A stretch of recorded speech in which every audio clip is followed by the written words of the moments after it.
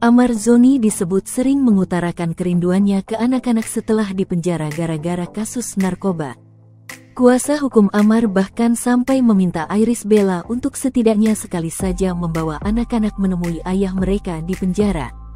Kini, Iris Bella lewat kuasa hukumnya, Emile Umar Alamudi pun menjawab cerita yang diklaim sebagai keluhan Amar Zoni di penjara. Ia menyebut Amar sendiri yang menolak dipertemukan dengan anak-anak.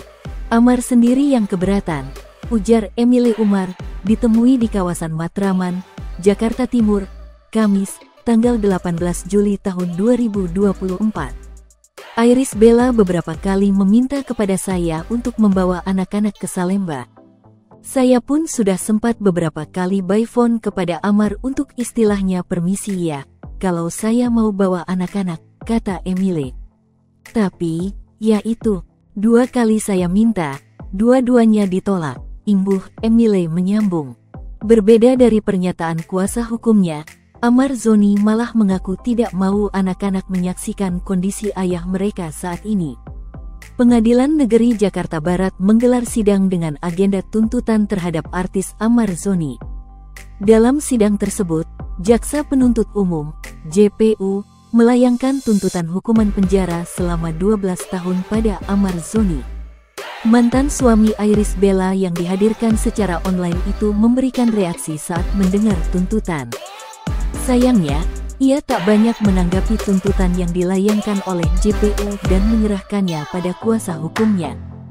Sebelum majelis hakim membacakan putusan, Amar Zoni diberikan kesempatan untuk menyampaikan pledoi di hadapan hakim dengan harapan hukuman atas perkaranya bisa berkurang.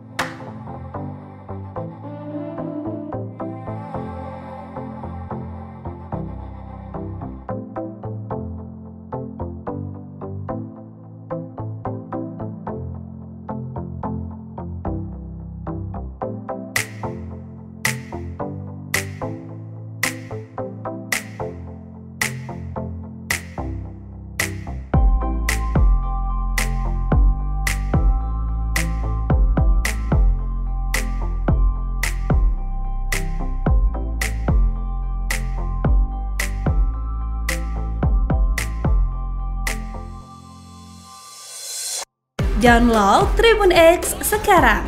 Menghadirkan lokal menjadi Indonesia.